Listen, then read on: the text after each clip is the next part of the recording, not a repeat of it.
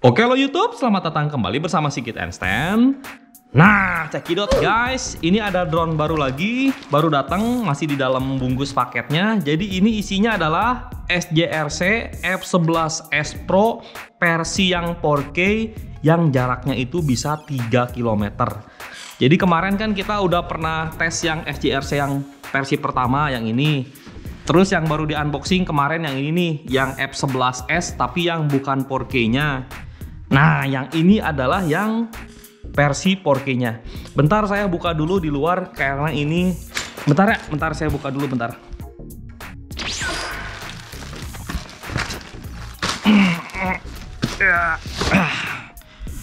Oh, beda dia ternyata bungkus terluarnya ya dengan yang versi sebelumnya. Yang kemarin mah versi bungkus coklatnya kayak gini ya yang nggak 4K. Oke, jadi ini adalah SJRC F11S 4K version yang bisa kamu dapatkan di toko langganan Sigit Einstein di Hugo Store. Silahkan cek linknya di deskripsi video. Di situ ada harganya berapa-berapanya. Oke, untuk spek singkatnya, wih, canggih. Transmission distance up to 3000 meter, artinya dia bisa sampai 3000 meter jika tanpa interferensi ya. Kalau di dunia nyata biasanya nggak bakal bisa 3000 bisa juga susah banget. Mainnya harus di tempat-tempat tertentu yang nggak ada gangguan sinyal wifi. Cuman secara spek ini udah harusnya mantep banget. Terbangnya 26 menit sadis. 4K kamera. Oh udah 4K kamera nanti kita lihat EPS nya dapat berapa. EIS dan dua aksis mechanical gimbal. Oke keren ya. Ini udah EIS dan mechanical gimbal. Oke keren keren keren. Mantap mantap kayak depannya kayak gini harus menggunakan handphone 5 GHz dan di sini seperti biasa ada postelnya. Untuk postel ini maksudnya apa? Artinya adalah drone ini sudah resmi dijual di Indonesia di toko Hugo Store artinya drone ini bukan barang berbahaya bisa digeber setiap hari kayaknya ya. Kayak mana ini masih disegel? Sobekin aja lah. Oke nggak apa-apa disobekin sedikit. Yuk kita langsung buka sama-sama unboxing. Dalamannya kayak gimana? Ada nomor apa ini 2021 segala macam mungkin tahun tahun produksinya. Oke dalamannya kayak gini seperti biasa. Kalau SJRC dia paketannya mewah ya. Oke kita buka. Ini ada serelekannya di sini ya. Wih mantap guys. Wih sadis tasnya bagus warnanya abu-abu gini saya suka.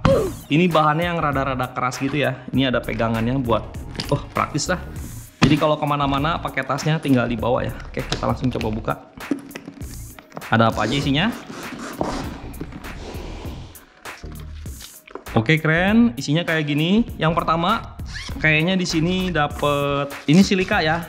Silika buat anti lembab biar nyerap air dia. Oke dapat apa ini Oke, di sini ada buku petunjuk penggunaannya. Nanti harus saya baca-baca dulu. Oh, gede banget ya F11S 4K Pro, oke. 14 tahun ke atas guys, tuh ada bacaannya ya, 14 tahun ke atas. Jadi kalau umur 14 tahun ke bawah nggak boleh main drone. Ada polisi nanti ke rumah. Enggak lah. Oke. Oke, ini ada buku petunjuknya. Di sini ada busa-busa anehnya. Tebel ini busa anehnya. Oke, good buat ngelindungin. Oh sama ya dengan yang versi kemarin. Cuman bedanya remote-nya bisa 3 km nanti mungkin dicobain ya remote ini bisa ngebinding nggak ke sini? Kalau bisa nanti drone-nya ini bisa 3 km juga kayaknya seru ya. Oke ini ada baling-baling cadangan blade. Kita cek dapatnya apa kabelnya kemarin yang SJRC 4K kan masih micro USB kalau yang ini udah Type C guys. Udah Type C kabelnya juga warna putih. Kayak satu bedanya yang ini dapat kabelnya yang Type C ya. Untuk baling-balingnya bentar saya raba dulu. Satu dua empat ini. Dapat satu set jadi dapat empat buat ngegantiin baling-baling yang di drone nya dapat kunci L baut kunci L sama baut-bautnya. Berarti dia memakai hexa oke. okay. Untuk remote-nya kayak kayak begini ya remote-nya. Kita cek dulu antenanya bener nggak? Kayak oh ah bener nih. Yang kanan betul dia ada kabelnya keluar tuh. Ya kayak yang ini kabel ada kabelnya keluar. Nah yang kiri juga ada kabelnya keluar. Nih kayaknya dia dua-duanya di Persiti mungkin ya atau saya segala macam saya nggak tahu yang jelas Untuk baterainya sendiri ini beda dengan versi sebelumnya nih. Yang bukan 4K. Bentar. Saya buka dulu di sini. Oke, bukanya ada dua gini guys. Bukanya ada dua gini. Yang satu ini buat lapisan atas. Oh, ini buat yang lapisan atas ini ya. Oke, biarin ya. Nah, yang kedua ini buat jangan dilepas yang kedua mah. Nah ini masih ada, oh masih ada pelindung kacanya lagi ya, nggak apa-apa jangan dilepas lah, biarin lumayan anti gores ya. Untuk tombol-tombolnya di sini ada ganti speed, ada buat emergency stop, ini langsung ada sidik jari saya tuh. Oh enggak ya, ya ada sidik jarinya. Ini ada buat nyalain, baterai 66 PCT. Oh remote-nya beda guys, tampilannya udah udah nggak kaku pakai LED-LED kayak gitu ya. Oke, kalau diklik sekali kayaknya dia buat ngecas baterai. Di sini ada return to home di bawahnya ini Type C buat ngecas. Lalu di sini tombol kamera, tombol video, di angle buat naik turun kamera. Lalu di sini ada buat ngezoom ya. Kemarin kan saya masih inget jadinya. Oke, untuk si holder handphonenya kayaknya ini bakal bagus nih holder, handphonenya kokoh ya, nggak kayak MJX dia. Kalau MJX tuh agak-agak loyo dia. Oke, bentar gini. Oke. Oh, yang ini lebih kokoh guys. Yang kemarin kan ngampleh ke depan ya. Uh, mantep ini pegangannya pas banget ini yang 4K ya mantap oke biar nggak penasaran bentar kalau yang Oh beda guys untuk yang 4K tasnya tuh yang 4K tasnya warnanya putih ya SJRC Pro AES kalau yang nggak 4K yang nggak 3 km dia lambangnya merah begini ya oke. Biar ngebandingin untuk remote sih ini sama ya guys remote nya sama. Ya remote-nya sama, bentuknya sama. Yang ngebedain adalah remote yang ini lebih berat guys daripada rem ini ringan remote-nya. Kalau yang ini lebih berat. Ini yang nggak 4K, ini yang 4K lebih berat. Ini yang nggak 3 km, ini yang udah 3 km. Ini 300 mAh 1S baterainya, sedangkan ini 1500 1500 mAh 1S. Oh, berarti ini berat sama baterai ya, lebih kokoh ya. Oke. Jadi ketahuan kan untuk drone-nya sih kayaknya sama aja. Oke, kita sekarang ke drone-nya. Untuk drone-nya ini yang versi 4K bentuknya dengan yang versi nggak 4K. Kalau dilipat ini bakal sama ya, sama ya. Bentuknya sama aja ini. Bahkan motornya pun sama baterainya jangan-jangan sama. Yuk nanti kita bandingin sebentar. Oke buka kaki depan gini. Buka kaki belakangnya begini. Iya kita cek di bagian bawahnya dia nggak ada sensor ya. Kalau SJRC ini tidak ada sensor optical flow position. Jadi kalau main indoor kalau belum mahir tidak disarankan main indoor. Kalau main indoor itu khusus yang sudah mahir saja. Mantap ini. Oke di sini ada gimbalnya. Kita buka. Ada bacaannya ya. Buka tutup gimbal koper sebelum nyalain uh, drone. Oke kayak gini. Sama persis dengan yang kemarin yang kita unboxing kita lihat kita lihat dulu kameranya dia sama atau enggak. Sebentar. Ini biar kita pengingat di sini. Oke kita ke sini eh kok pengen kayak ada eh kayak ada magnetnya loh. Eh itu nyedot ya anjir kenapa jadi bahas gini? Ih bener ini susah banget kayak ada magnetnya guys. Kayak listrik statik gitu ya. Oh iya ada listrik statiknya kali nempel di sini. Oke. Oke good. Pasangnya stiker aja lama banget. Oke ini bentar kita buka dulu baling-balingnya. Kayak ini baling-balingnya. Biar kelihatan baru banget sih. Mantap. Oke untuk drone nya bentuknya kayak gini guys. Bisa dilipat foldable istilahnya. Oke mantap nih. Untuk kamera lihat. Kamera kameranya dua aksis gimbal. Maksudnya dua aksis gimbal itu gimana? Jadi maksudnya dua aksis gimbal itu kameranya ada dua tambahan motor bergerak yang berfungsi sebagai penyetabil ini kayak gini guys Uh, ini satu aksis ya buat uh, ngehandle miring-miring drone, lalu ini dua aksis buat uh, turun naik drone-nya. Digini-giniin nggak apa-apa, ya nggak apa-apa. Kalau belum dinyalain digini-giniin nggak apa-apa, nggak masalah. Kecuali kalau udah dinyalain drone-nya nggak boleh ya. Di sini ada bacaan F F11 Pro AES. Oh, S-nya udah nggak kelihatannya. Oh, di bagian sininya karet, karet. belakang sini plastik ya plastik. Yang ini karet nih yang ini karet. Kayak dia belum ada sensor di bawah. Di sini ada buat micro SD nya kayak di mana lagi? Oke kita coba cek. Lepas baterai. Di sini baterainya 2500 mAh udah 3S 2500 mAh udah 3S ini type C kalau yang versi sebelumnya kita banding-bandingin aja nggak apa-apa kalau yang versi sebelumnya dia 2500 11S eh 11,1 volt itu 3S tapi di sininya masih micro USB biasa. Entah ini bisa substitusi baterai atau enggak, cuman yang jelas dari tombolnya aja udah beda ya. Nanti saya tanyain dulu ke tokonya bisa substitusi atau enggak, cuman yang jelas yang ini bulatnya kayak gini, yang ini kotak ya. Yang bulat berarti dia buat versi yang Oh, ini baterainya 3 per 4 nih, nanti bisa langsung diterbangin. Oke, okay, good. Ini good juga. Hmm.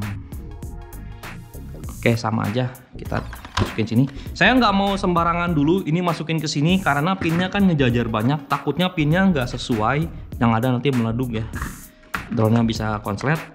Oke okay guys, kita akan coba ya. Katanya sih di sini pertama nyalain remote dulu. Habis nyalain remote, baru nyalain drone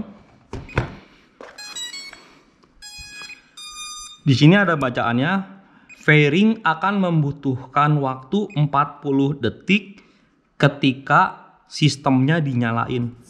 Oke, kita tungguin aja 40 detik ya.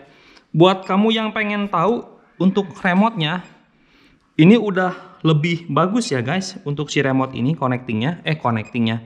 Maksudnya layarnya kalau yang versi 4K ini lebih bagus. Dia bukannya LED yang dikasih nyala-nyala begitu guys. Tapi dia semacam LED yang udah rapi aja gitu. Tampilannya kayak buat tampilan monokrom ya. Oke ini udah 40 detik belum? Soalnya di sini ada bacaannya kan connecting bukan connected oh iya bener Oke okay guys, ini udah nyambung. Dia bener-bener butuh waktu 40 detik. Ada bacaannya GPS mode. Oh, di sini ada semacam barnya itu ada semacam speed, uh, eh, GPS apa ini? Yang sebelah kiri 4, yang sebelah kanan 3 ya. Oh, ini baterai drone, ini baterai remote. Di sini ada jarak distan, ada height, lalu ada kecepatan drone sama kecepatan horizontal drone, speed sama kecepatan turun naik drone-nya. Oke, katanya di sini suruh begini guys. Suruh begini. Nah, nanti dia berubah jadi kedip merah gini, kita putar aja drone-nya putar-putar daunnya. Tadi ada bunyi bip ya di remote ya. Bip sekali artinya uh, kalibrasi yang diputar datar. Kalau bip dua kali artinya kalibrasi yang tadi tegak lurus ya. Oke, lalu langkah selanjutnya di sini di pojok kanan atas guys, nanti dia langsung kalibrasi tingkat datar. Buat nge Nah, dia kedipnya cepat buat si gimbalnya ini dia jadi aktif. Lalu langkah selanjutnya aplikasinya sama guys, aplikasinya itu harus memakai WiFi-nya disambungin dulu. Di sini langsung kelihatan ada SJRC, POE, BRG, BRG itu apa barang bukan? Connecting, dia sudah connected. Oh iya SD card-nya lupa ya. Oke, kita coba terbang aja tanpa SD card lagi. Saya lupa SD cardnya lupa dinyalain kemarin di lupa dimasukin juga. Oke, eh, aplikasinya mana? Drone SJRC App Pro di sininya harusnya milihnya yang F11s ya. Ih, dia langsung pindah sendiri ya. Sebelum saya iniin, sebelum saya ganti dia udah Oh, saya successfully. Status ada bacaan no SD card detected. Oke okay guys, ini Sigit N10 pagi hari mau berangkat kerja. Cuman kita nge-review drone dulu unboxing karena saya penasaran. Nanti kita bawa ke kantor aja. Oke. Okay. Oke. Okay. Oke, lihat ini. Lihat MJX, lihat MJX. SJR-nya lebih bagus tuh, lebih kokoh ininya. Gokil guys. Ah, gimana sih remote MJX? Kok jadi protes ke MJX? Oke okay guys, ini drone-nya tanpa SD card. 4K ini, 4K ini. Simpan di sini. Habis simpan di situ, kebiasaan saya biasanya ini kita kalibrasi ulang lagi. Bukan kalibrasi kompas ya, tapi kalibrasi horizon. Karena apa? Karena gini, di meja ini di bagian bawahnya ini kan ada besi nih. Itu besi ya, jadi takutnya dia ngeganggu ya. Oke, mudah-mudahan kita tes terbang indoor nggak crash. Entah kenapa hari ini saya nggak pede. Saya pengen pakai begini dulu. Oke, saya kurang pede nih. Mudah-mudahan aman. 3, 2, 1, begini ya. Oh, ini GPS mode, tahan tombol ini coba 5 detik. Tahan tombol ini 5 detik.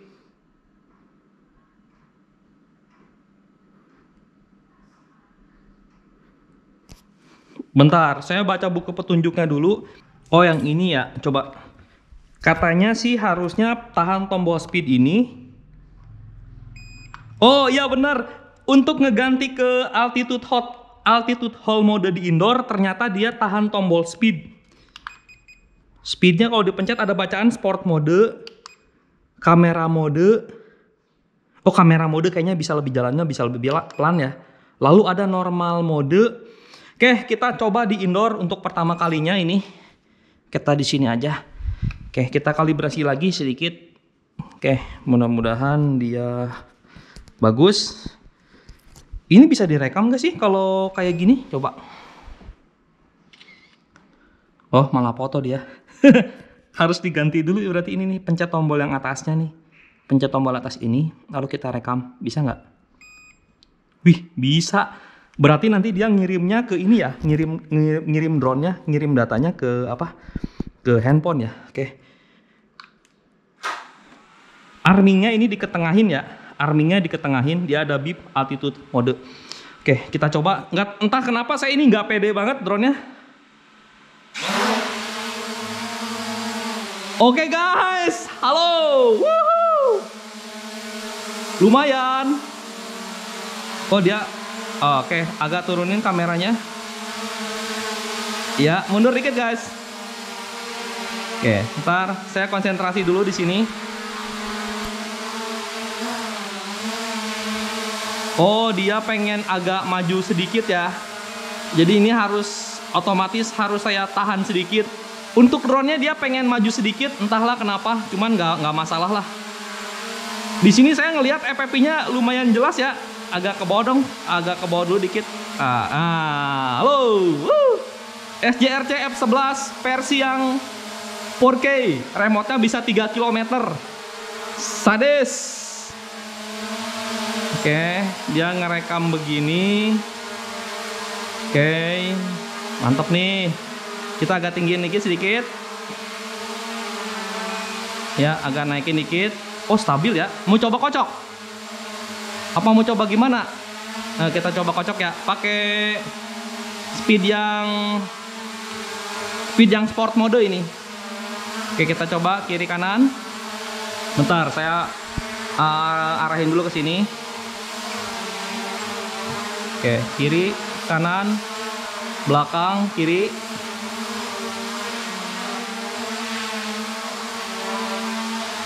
Oke. Mantap ya kalau SJRC itu drone-nya apa? Gimbalnya bagus ini. EIS sama gimbalnya bekerja dengan sangat baik. Di sport mode ini, kayaknya kalau main indoor bakal seru banget ini. Oke. Kita coba ganti speed lagi ke normal. Ini drone-nya pengen maju ke depan mulu kali ya. Kenapa ya?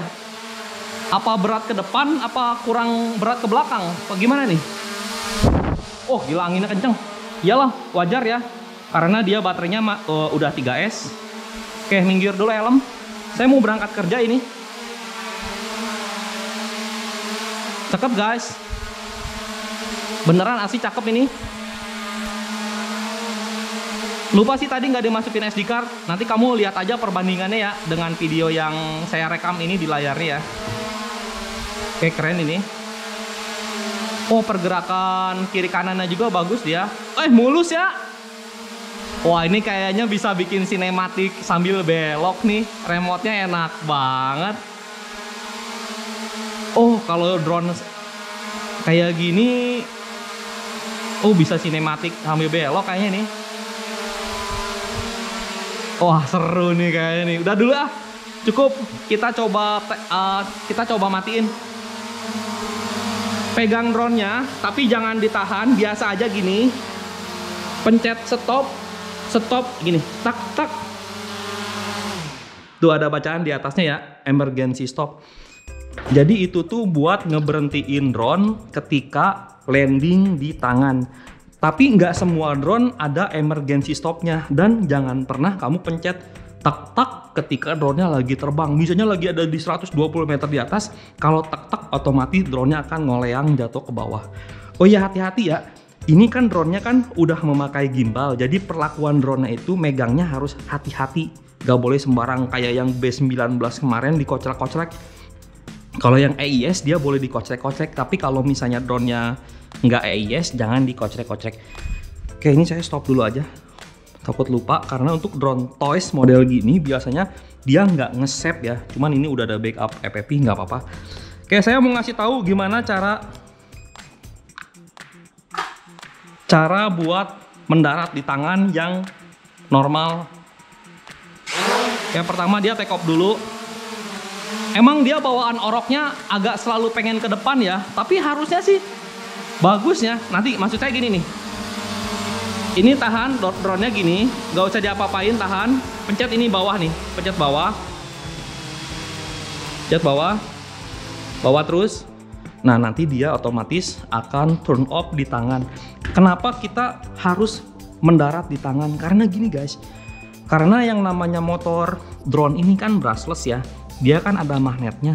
Kalau khawatirnya ketika kita ter, uh, mendarat di tanah itu banyak partikel besi yang partikel serbuk besi nanti malah ngotorin kayak gini. Jadi kalau untuk mendarat sebaiknya di tangan, tapi kalau untuk take off memakai uh, landing pad yang bagus ya. Oke. Itu caranya kayak gitu tadi. Ini apa sih? Nit nit nit. Oke, nggak apa-apa lah apalagi yang pengen di share oke nggak ada sih. Yang jelas nanti tinggal masukin SD card kita terbang di outdoor. Thank you ya udah lihat video Sigit Einstein kalau kamu suka di like jangan lupa di subscribe channel Sigit Einstein nanti kita terbangin lagi di luar. Saya mau berangkat kerja dulu. Oke? Mantap jiwa mamen